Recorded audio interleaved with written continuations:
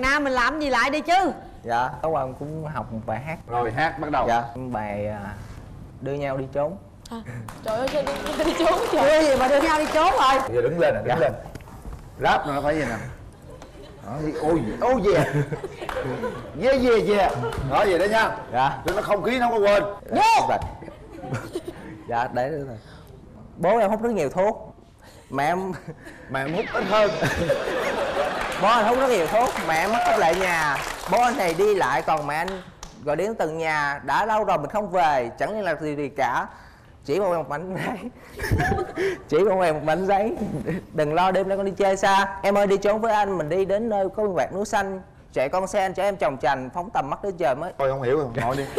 Mệt quá. Rung quá. Trời đất ơi.